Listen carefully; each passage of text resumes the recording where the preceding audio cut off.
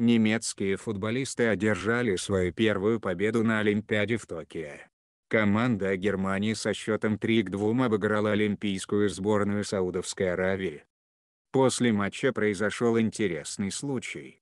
Нападающий германской команды Макс Крузе во время интервью для германского телевидения сделал предложение своей девушке.